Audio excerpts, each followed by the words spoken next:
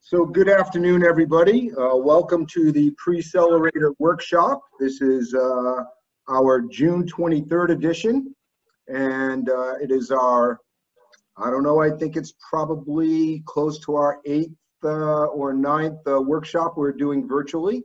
So uh, I appreciate you all coming in, and unfortunately, we're not providing lunch. Um, so you're on your own for that. But uh, we have a great uh, presentation today on equity and alternative compensation by one of our partners at Stubbs Alderton and Markiles. Uh, with no further ado, it's my pleasure to introduce to you Louis Wharton. Great.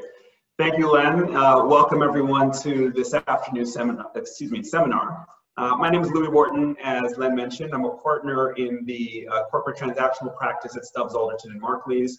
The firm represents emerging growth uh, startup and middle market companies in complex business transactions and litigation.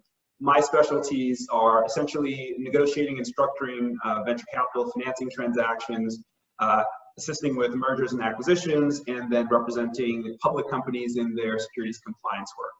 Uh, today's presentation focuses on the work that I do with companies, both uh, and uh, candidates as well, quite frankly, with respect to negotiating and structuring uh, employment arrangements. And so the discussion will focus on the perspective of both the company uh, employing the candidate and the candidate considering an opportunity.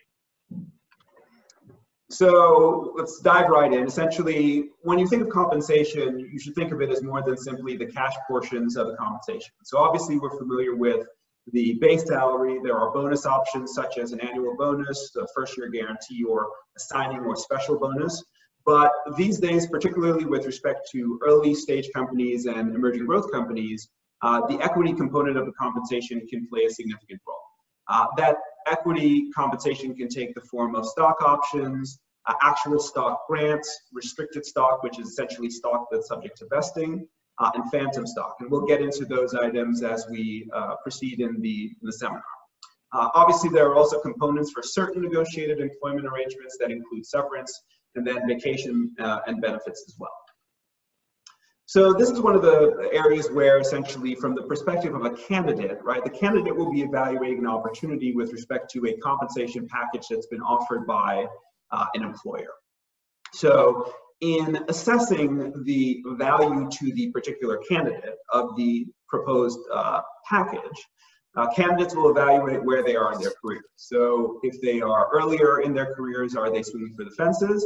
Or uh, if they're in the middle of their careers, are they trying to uh, maintain trajectory? If they're later in their careers, they may want more stability. So when thinking about the company itself, uh, candidates usually will think, well, a startup has you know potential potentially significant upside. However, given that the uh, startups typically have a low rate of success, there's more risk to achieve that value with respect to a, an emerging growth or growth stage company, right, there's less upside because the company is established and so there's less risk. But there's credible cash and a, a more significant opportunity to likely achieve the value associated with the exit. And then with respect to established companies, obviously candidates would expect market compensation, uh, so cash and bonus. There may be some equity component included in that package as well, but equity usually plays a uh, less significant role with respect to established companies as opposed to early stage or intermediate companies. Um, Obviously, candidates will seek information from the company when evaluating the opportunity. So from the company's perspective, you shouldn't be surprised to get information in determining the equity that's been proposed. Um, if you can yourself, by the way, if you're not, uh, I guess, asking a question, that would be appreciated. And in fact, for questions, I don't know if everyone heard, but to the extent that you've got a question, feel free to include it in the chat, and then uh, Len will bring it to my attention. Thank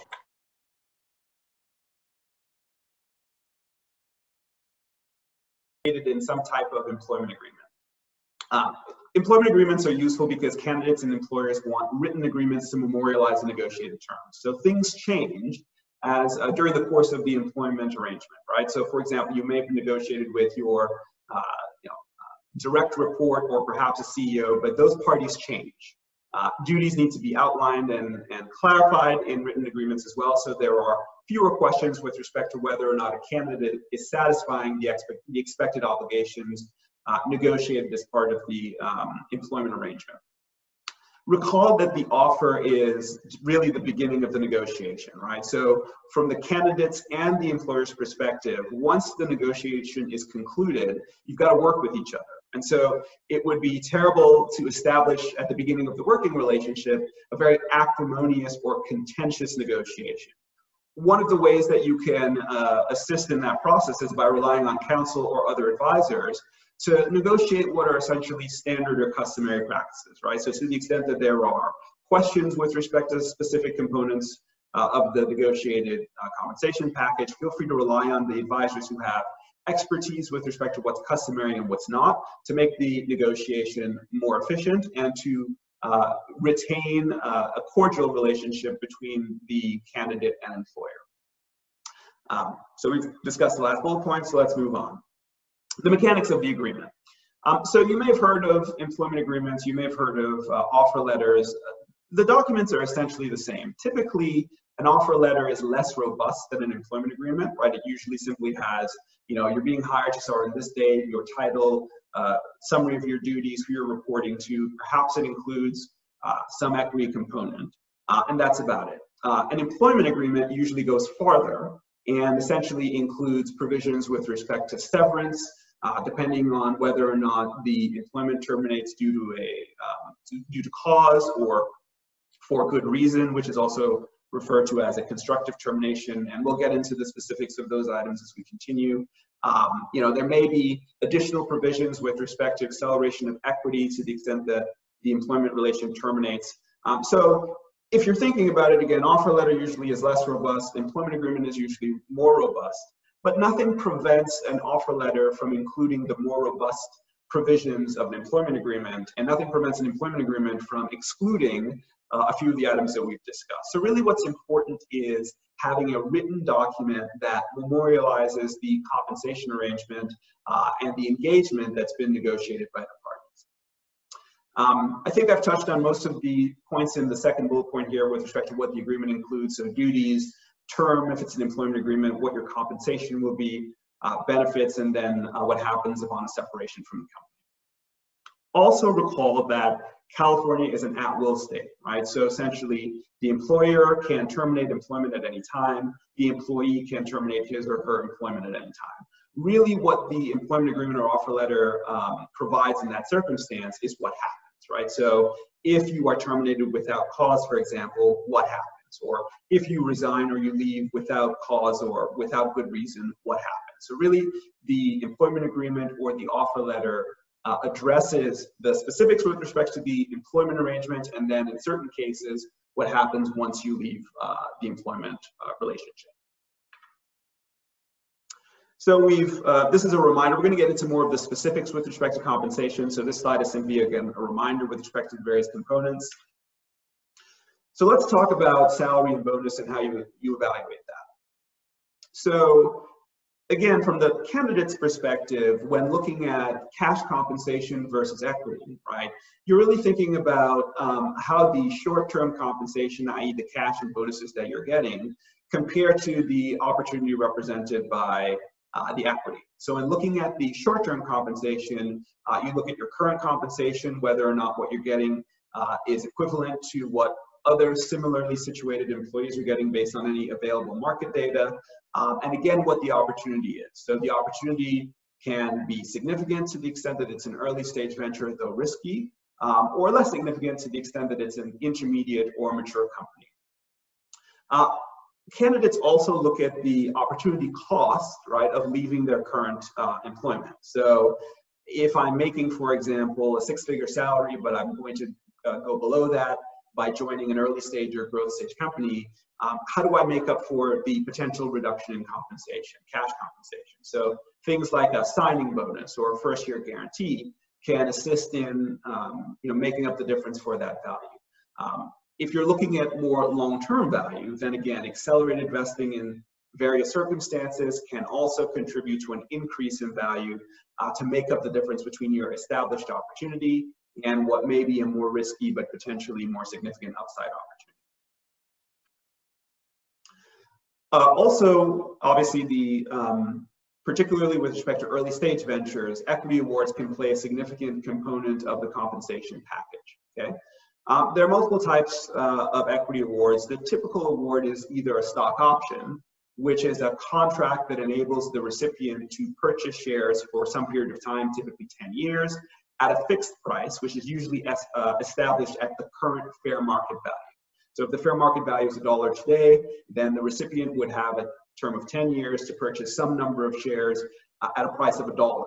And presumably, as the company continues to increase in value, uh, the value of the stock increases as well. And so the recipient can gain that value by exercising the option and then ultimately selling the shares.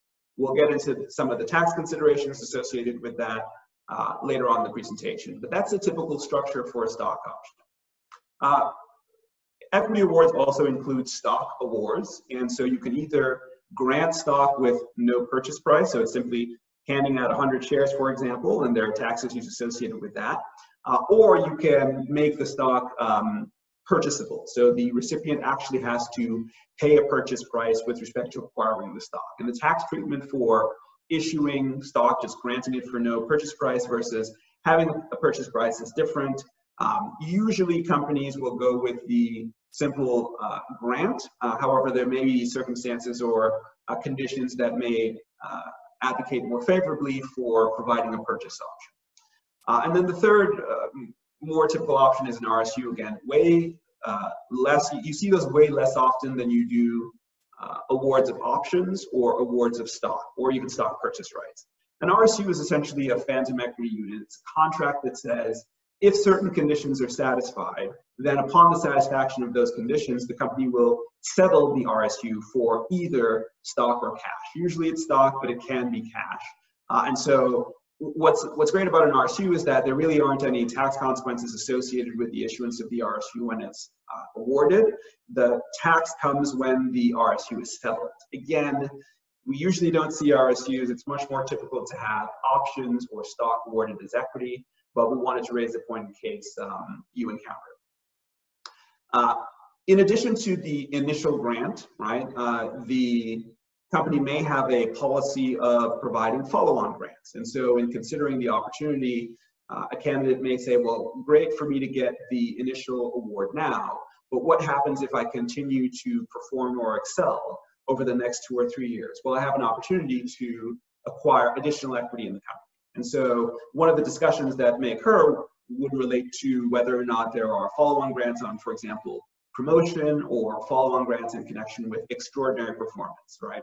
And discussion would obviously include, you know, what's the size of those grants, how often are they made, et cetera. So don't be surprised if, as part of the negotiation, particularly for more sophisticated candidates, uh, they ask questions related to uh, follow-on equity to figure out, you know, how else that they, they can achieve value uh, with respect to getting equity in the company.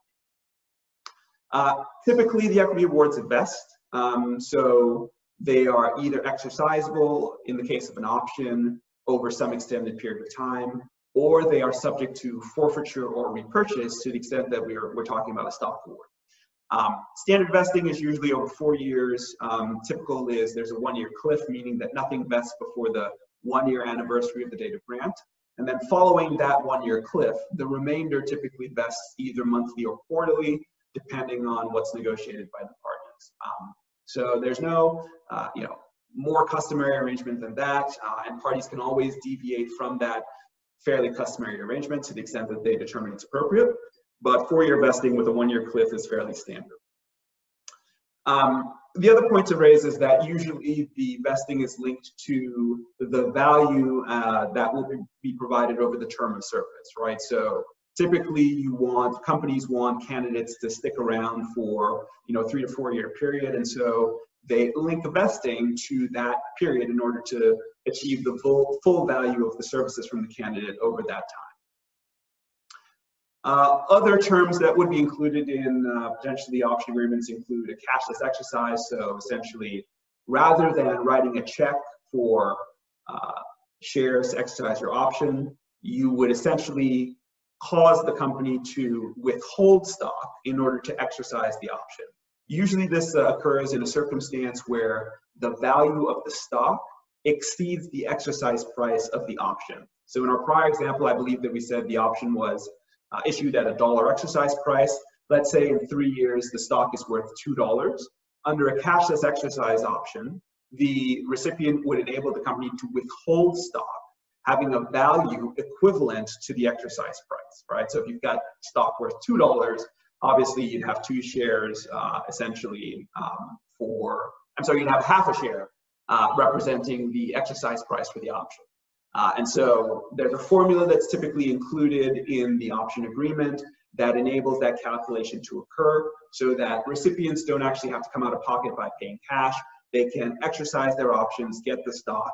They don't get as many shares, uh, but again, they don't have to come out of pocket for, uh, for the cash required to exercise the option. Louis? Yes. Uh, we have a question. Uh, what happens if the stock has not been issued yet? Uh, under the option, I, I guess, uh, so typically with respect to an option for the person asking the question, the stock wouldn't be issued until it's exercised. If your question is whether stock in the company has been, been issued, perhaps you can clarify, right? We're assuming that the company has issued stock, it's got a stock incentive plan that provides for the issuance of these awards, and there's some number of shares reserved for issuance upon exercise of the option. So at the time that you receive an option, right, there should be some equivalent number of shares reserved in the company's capitalization table to satisfy the exercise of the option, assuming that you actually Thank you. Okay.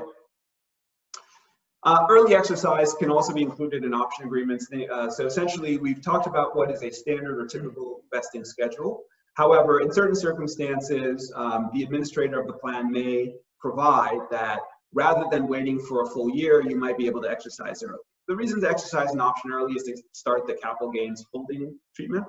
Uh, however, essentially, options, particularly incentive stock options that are exercised early, lose the favorable ISO tax treatment. Um, we'll get into that a little later. Um, but it's possible that, you know, if someone isn't necessarily concerned with respect to ISO treatment, they may want to exercise the option early to start the capital gains holding period. Uh, and so that is an option that is sometimes included in option agreements. Uh, and then finally on this slide, essentially um, thinking about accelerated vesting on the sale of the company. So uh, will there be single trigger vesting or double trigger vesting? You may have heard these terms. Single trigger uh, acceleration simply requires that a change of control occur for vesting to accelerate. So upon the consummation of a change of control, vesting will fully accelerate and the recipient will be entitled to exercise you know, the full number of shares under an option or will be entitled to retain the full number of shares under a stock uh, award. Double trigger acceleration requires, in addition to the occurrence of the change of control, a termination event associated with that event, usually within a period of 12 months. So you've got to have a change of control and your service is terminated usually without cause by the company during 12 months following that change of control. So that's why there's the double trigger, two triggers essentially. And in that circumstance, then usually the vesting would accelerate and you would uh, be entitled to achieve the full value of the shares underlying either the option award or the stock award.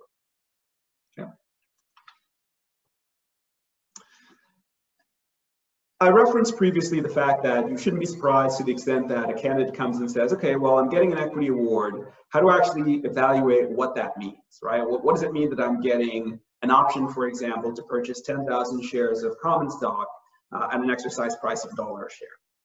And so typically what uh, you would expect would be for a candidate to request obviously documentation with respect to the equity incentive plan to understand what the rights, preferences, and privileges are with respect to the award, um, you know, circumstances under which they can be exercised, what happens after termination, et cetera.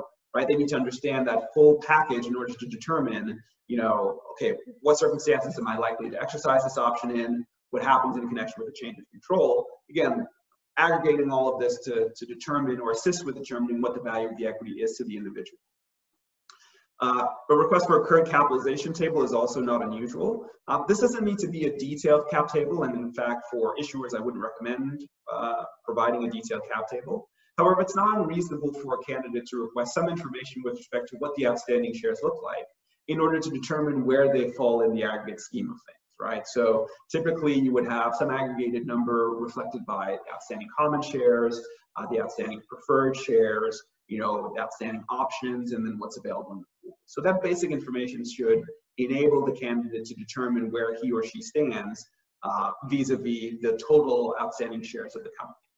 Uh, related to the capitalization table is an explanation of uh, other investors' preference rights. So for companies that have issued preferred shares, right, typically in a liquidation transaction or change of control, those shares receive a distribution prior to any distribution going out to the common holders. And so it makes sense for a recipient of an option to purchase, for example, common shares to gain an understanding with respect to how, you know, how much of the proceeds need to be issued before holders of common stock will participate in the distribution. So getting a sense of where the liquidation preferences are currently uh, is a reasonable request from the perspective of the candidate. Uh, actually, the obviously the restricted stock agreement or the option agreement to again understand what the rights, preferences, and privileges are. Prices of previous rounds to establish what the value is, where it's been, and where it's going. Uh, and then the current 490 evaluation, which is essentially the fair market value is determined by an independent valuation firm. Right. So all of that, uh, that, that, all those items are reasonable for the candidate to request and the company to provide to assist the candidate in evaluating uh, what the true value of the equity is to that particular candidate. Louis, question uh, has come up. Are there any standard equity arrangements where the founder's shares are used instead of an ESOP? Um, so no, uh, it's unusual to use quote unquote founder shares. And I, I know there, this term is around. I mean, essentially founder shares are just the shares of common stock typically uh, issued uh, at the formation of the enterprise, right? So, you know, let's say there are three founders, each getting a million shares. Those are quote unquote the founder shares. But those founder shares are no different from the common stock that may be issued to an advisor down the road uh, or, you know, another purchaser of the company's common stock. It is atypical and unusual to use the founder shares uh, to underlie uh, equity compensation awards. Uh, usually that's provided under an incentive plan. And the reason for that, there are a couple of reasons. The first is that the incentive plan qualifies for applicable exemptions under state and federal securities laws. And so you don't have to worry about complying with securities laws provided that you issue the securities pursuant to a compliant plan. The second is that you can gain favorable tax treatment, particularly with respect to ISOs, to the extent that they are issued under a compliant plan, right? So there are tax advantages and there are advantages with respect to compliance with applicable securities laws that strongly advocate for issuing equity awards under an incentive plan. Um, nothing prevents a company from issuing, for example, an option outside of an incentive plan, and you would essentially come up with a standalone form of option agreement for that recipient, but you don't necessarily have uh, the ISO treatment or the um, exemption under securities laws unless, again, you comply with the applicable requirements. So if you're going to comply with the applicable, excuse me, applicable requirements, you might as well implement the stock incentive plan that does all of those things from the outset. Thank you. Yep. Okay, so getting into some of the uh, equity tax considerations. So uh, I've got to caveat this by saying this is not tax advice, and obviously uh, facts and circumstances may vary with respect to particular situations. So this is a general summary with respect to what the tax treatment is going to be for various incentive awards, but uh, issuers should certainly consult with individual counsel and candidates should as well to determine what the tax excuse me, consequences will be for their circumstances. Okay, so with that caveat diving in, uh, stock options are generally not taxed when granted. All right, so favorable to the employee because you don't have to worry about taxes. Stock grants are taxed at ordinary uh, income rates, right? So remember the option is the agreement to purchase stock. The stock grant is you actually receive the stock uh, upon the issuance of the award. The tax is incurred in the year of grant for fully vested shares. So if there's no vesting schedule, then you take the value of the stock into income, assuming that you got a stock award, okay? If you purchase the stock, then you take into income the difference between the price you paid and fair market value. If you purchased the stock at fair market value, you'd have zero gain, and so there wouldn't be any tax, okay? Uh, to the extent that uh, the stock is subject to vesting, then taxes are taken into account in the year of grant for shares subject to vesting, if the recipient files an 83B election. So what the 83B election says is IRS, and I guess I should back up by explaining. Section 83B of the Internal Revenue Code essentially says that to the extent that equity is subject to a right of forfeiture, meaning vesting, then taxes owed in the year in which the right of forfeiture lapses. So if you think about vesting over a four-year period, right, at the end of the year, year one, 25% will be vested in our standard arrangement. And so you would take into account the value of those shares in year one. Uh, at year two, another 25% would be vested. And so you take into account the tax associated with the value for year two, et cetera, et cetera. The reason that's problematic is because we're all assuming that the value of the company increases over time, right? And so you would end up paying more taxes in year two, year three, and year four because the value of the equity has increased. In order to avoid that, uh, the IRS has made, has made it possible for recipients to file what is an 83B election notice. And so you notify the IRS to say, notwithstanding the fact that these shares are subject to right of forfeiture over years two, three, and four, I'm electing to pay taxes on the full value in year one, right? Uh, and so, and obviously the reason for that is because you want to pay taxes at the current value as opposed to the increased value. Uh, so that's the benefit. The downside is that to the extent that the shares don't fully vest and they are either repurchased or they're subject to forfeiture, right? The recipient will have paid taxes on shares that he or she doesn't own anymore, right? So there is that potential downside by filing the 83B election this year that you may actually forfeit the shares that you have invested in if you leave the company, let's say in year two, right? But you will already pay taxes in year one. Uh, that's why I say it really is an individual determination. If you think that you're going to be with the company for the entire four years, it likely makes a ton of sense to file the 83B. Um, you know, if the stock is issued at a very low value because the company is very early stage, it probably makes sense to file the 83B election to take advantage of the low tax associated with the low current value for the stock. But it really is an individual analysis. Um, the one thing to note is that the 83B election has to be filed within 30 days following issuance, no exceptions. So if you receive stock that's subject to vesting, please be mindful of the fact that if you're going to file an 83B election, you've got to do it within 30 days. Okay? Uh, and then we've talked about uh, in the year when they vested, the recipient does not file an 83B election. I know that that's a complicated, um, you know, issue. Uh, suffice it to say, I think the, the big takeaway here is if the recipient receives stock that's subject to vesting, he or she should consult with tax advisors with respect to determining whether or not, based on his or her tax circumstance, it makes sense to file an 83B election with the IRS. Okay.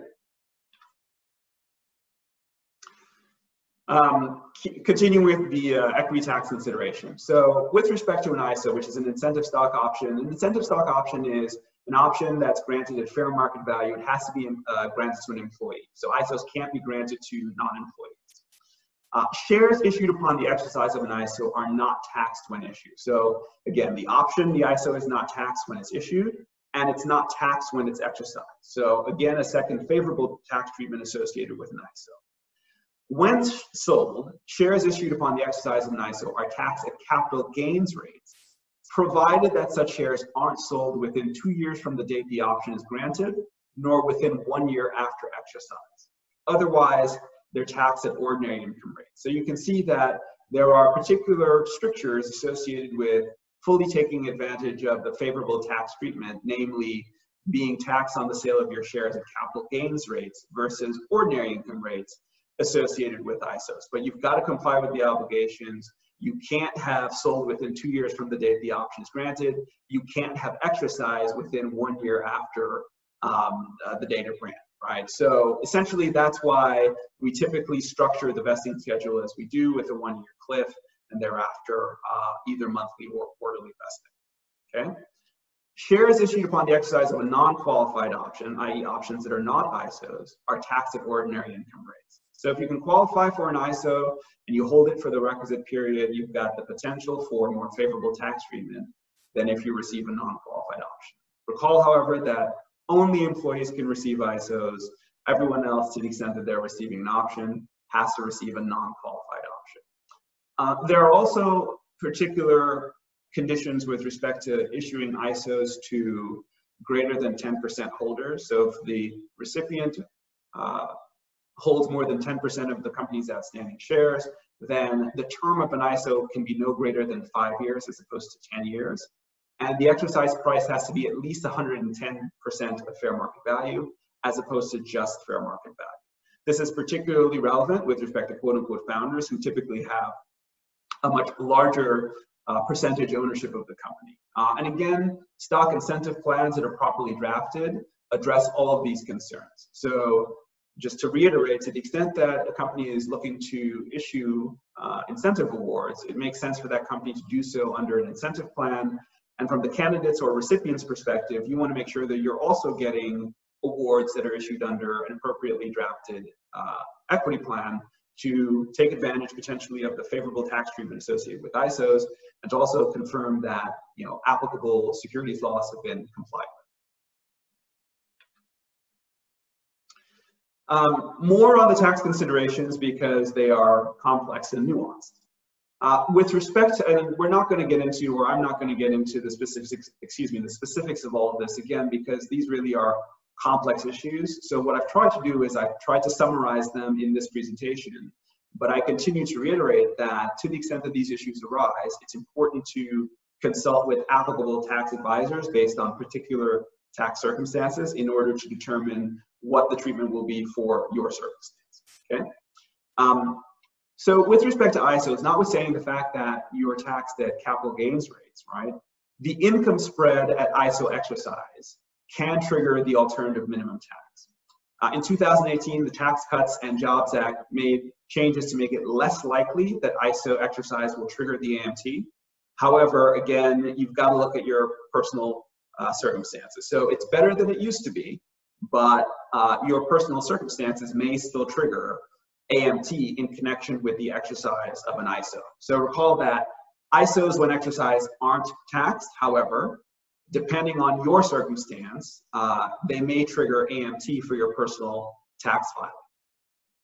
There was an additional uh, uh, regulation, the Empowering Employees Through Stock Ownership Act, that allows employees in a privately held company to elect to defer taxes at option exercise or RSU vesting for up to five years. However, that only applies if the stock is issued for performance uh, of services as an employee if during the calendar year in which the company was an eligible corporation, it issued that stock. And the definition of eligible corporation is not public with a written plan. So again, another reason for the company to have a written plan in which during the calendar year, not less than 80% of all employees in the US are granted stock options or RSUs with the same rights and privileges to receive qualified stock. I think that this is probably the factor that makes uh, relying on the Empowering Employees Through Stock Ownership Act most difficult uh, because I don't necessarily think that most startup companies or growth companies have equity distribution at the 80% level. Uh, obviously, you've got to you know look at the facts and circumstances as I continue to indicate, but in order to rely on this five-year deferral, uh, you've got to have a company that was a an eligible corporation uh, when the uh, incentive award was issued. And then the final condition is that uh, the stock is not subject to a repurchase right, right? So again, another factor that makes it somewhat difficult for uh, parties to comply with the uh, requirements of the Empowering Employees Through Stock Ownership Act. However, uh, for your knowledge and you know, worth asking the questions to the extent that you're a recipient uh, of equity awards. You can ask your, your uh, issuer or your employer whether or not they've undertaken an analysis to determine whether or not uh, the company qualifies. Okay, so moving on to the treatment of equity upon termination. Uh, with respect to ISOs, post-termination, you're only permitted to exercise those for 90 days. Uh, no similar uh, requirement for non-qualified options. However, the typical post-termination exercise period is one year. Okay? Um, and then typically the company may exercise repurchase rights uh, for shares that are subject to repurchase at a repurchase price usually within a, some period of 90 days um, post termination, right? Uh, again, no magic to that. Um, usually it's 90 days, the company can provide for shorter or longer periods of time. Uh, the point of raising, of raising this is simply for folks to be aware that you know, repurchase rights may apply, notwithstanding the fact that uh, equity awards may be vested, and that you should take into consideration the company's ability to uh, repurchase shares to the extent that you're separated from your employment with the company. Okay, moving on to severance. Um, so typically severance is payable upon termination for good reason or with, without cause. We'll get into those definitions shortly. Uh, usually it consists of salary, so some additional amount of compensation, uh, typically three months of your base salary to one year. Uh, usually some component of bonus, which is prorated for the current year to the extent that you're eligible for an annual bonus. Uh, some type of accelerated vesting, usually linked to the additional period in which cash uh, severance compensation is paid, and then continuation of healthcare and other benefits, uh, usually under COBRA. So what does good reason mean? Uh, typical good reason definitions um, include a material negative change to the circumstances of your employment. And give me one second. Okay, just making sure because I wanted to get to cause. Okay.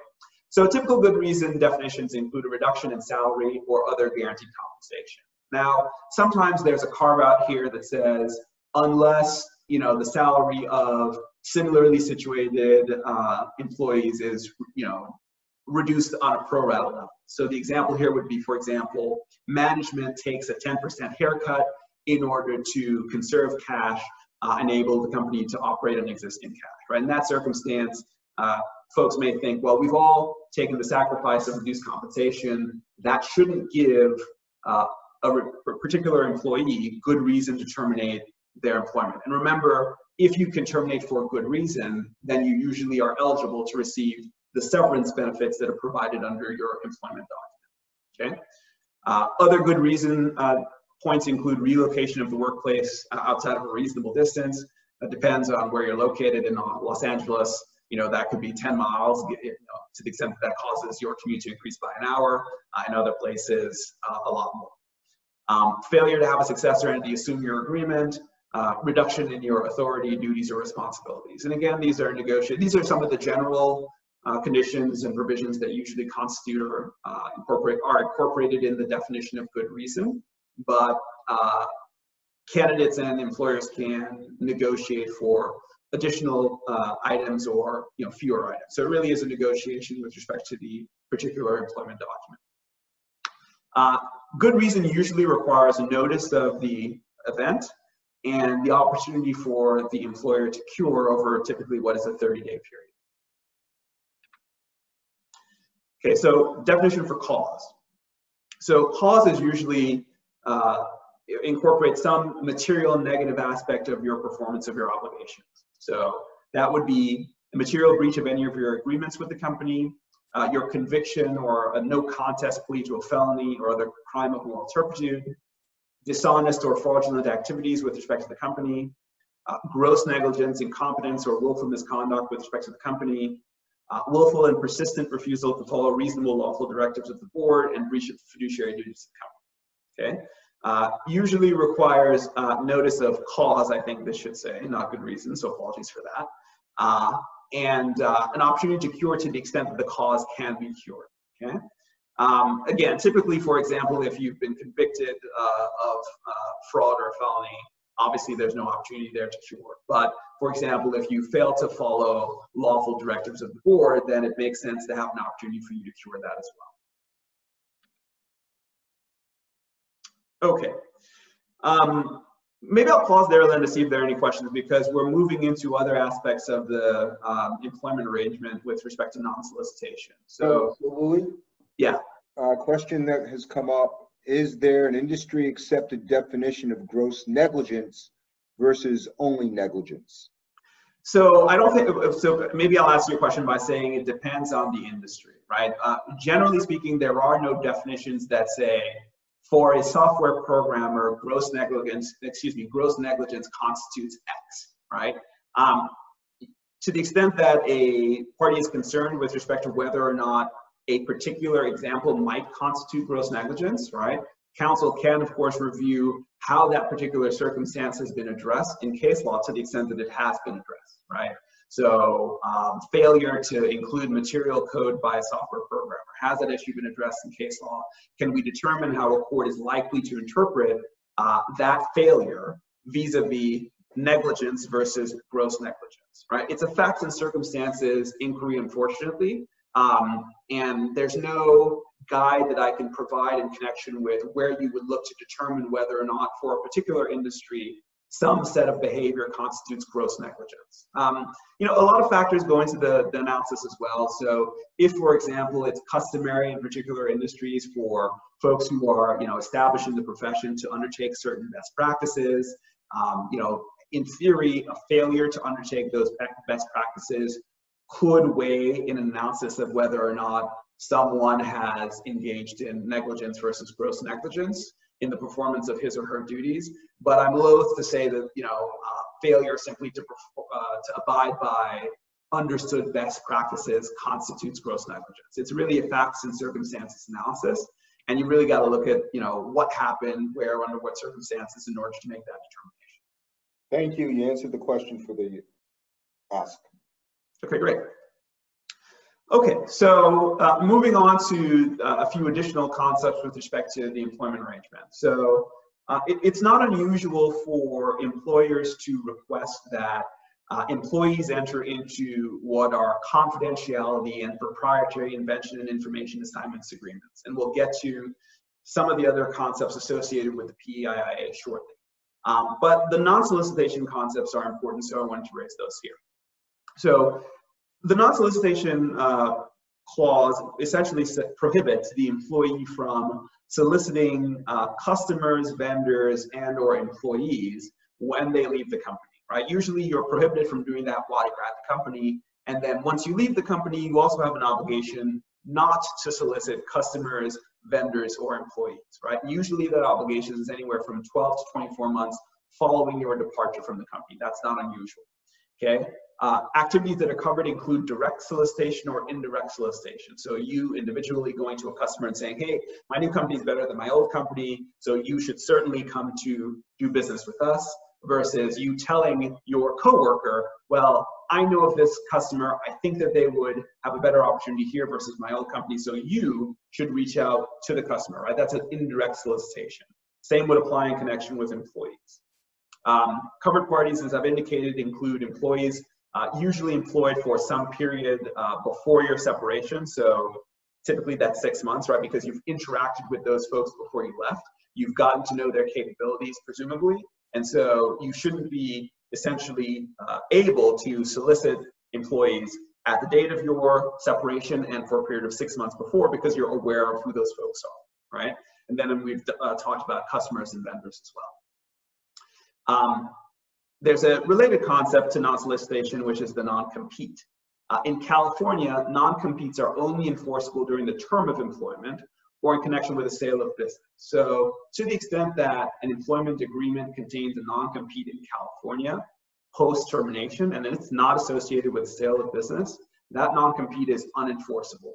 More importantly, there's California case law that says to the extent that uh, an agreement includes a non-compete, then that can cause the employment agreement to be voidable. Okay, so it's not enough to simply say, well, it's unenforceable, but we're going to include it anyway, just in case. In California employment arrangements, they should not include non-compete provisions unless those employment arrangements are entered into in connection with the sale of business. One caveat to note, uh, employees are never able to use a company's trade secrets to compete, okay? So simply because you can't enter into a non-compete agreement with a California employee doesn't mean that that employee gets to use your, trade, your trade secrets to compete against you, right? So that's another exception, okay? And then other considerations. So we talked about the PIIA or the Proprietary Information and Inventions Assignment Agreement. Um, it's best practices, particularly for technology companies, to have every employee enter into this document, okay? And so this document does a couple of things. First, it requires the employee to maintain the confidentiality of the company's confidential information, okay? Second, it requires the employee to assign to the company any intellectual property developed by the employee while working for the employer.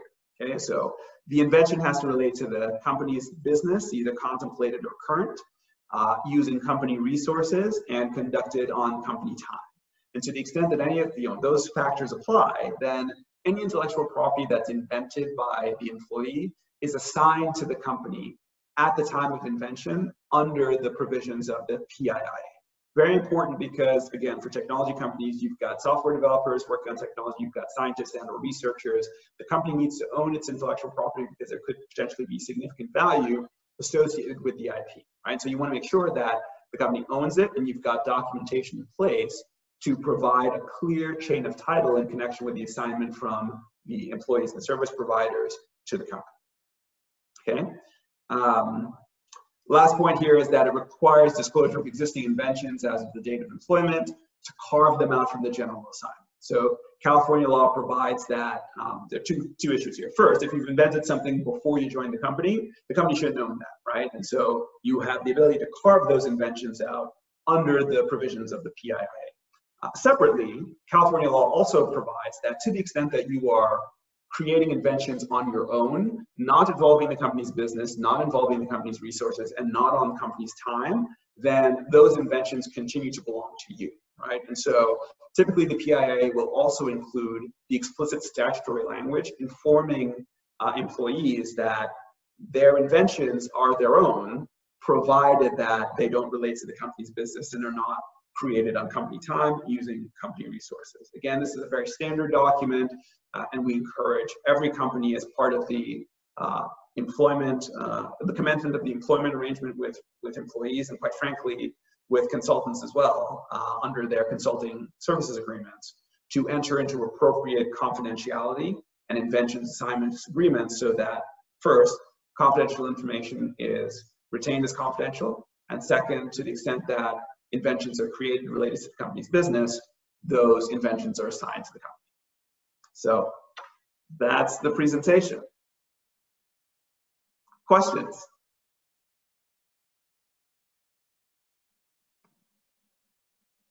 Okay, Louis, uh, let me unmute everybody and that way Sure. if someone wants to ask a question, I can do that.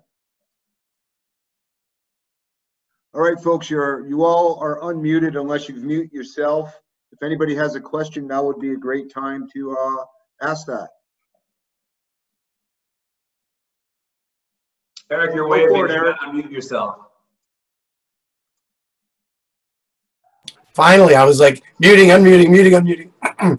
uh, Louis, can you comment about um, independent contractors and how independent contractors, not employees, play into um, whether they're awarded equity, uh, how that might be different than an employee? Uh, same thing with confidentiality and independent contractors versus employees. Sure. Um, so the standard equity incentive plan uh, will enable the company to provide or issue incentive awards to employees, consultants, directors, etc.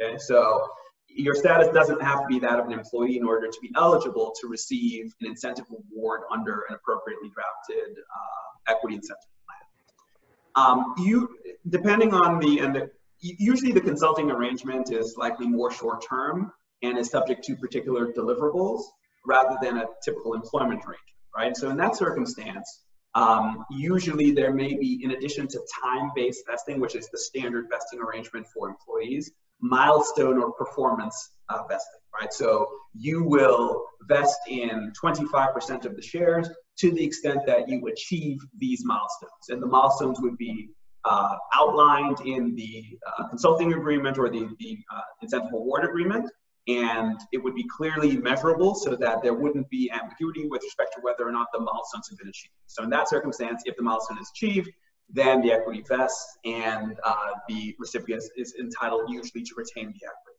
Um, so those are the biggest differences. However, nothing prevents a company from issuing, for example, an option to a consultant to the extent that the company is anticipating a long-term consulting arrangement with the consultant providing services that may not necessarily be as discrete as previously discussed, right? So there may be a range of, uh, of, of, services that will be provided by the consultant over a two-year period, for example. And so it would make sense for the company in that circumstance with respect to the equity award that's granted to the consultant to have a vesting period of over two years, for example, simply based on time, right? So, so long as you continue to provide the services and your consulting arrangement remains in place, you will continue to vest and will have the ability to uh, exercise the option if it's an option or vest in stock if it's a stock award uh, as the uh, arrangement continues.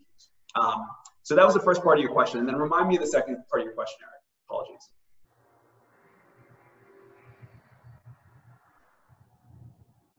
Yeah, is he muted? Um, He's on Okay.